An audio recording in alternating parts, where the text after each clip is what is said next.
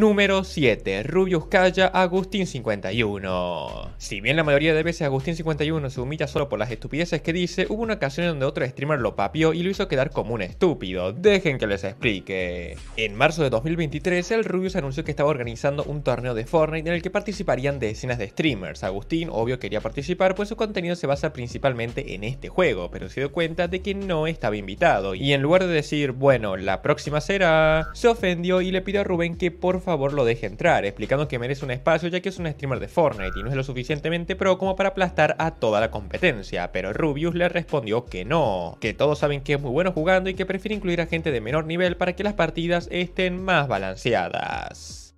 ¿Qué dice Agustín? Hola Rubius, soy el Gustín51. Me gustaría preguntarte si es posible mi participación en el torneo de Fortnite. Sé que piensas que soy un pro, pero eso, eso es dudoso ya que no gano ni una. Agustín, no, no me hagas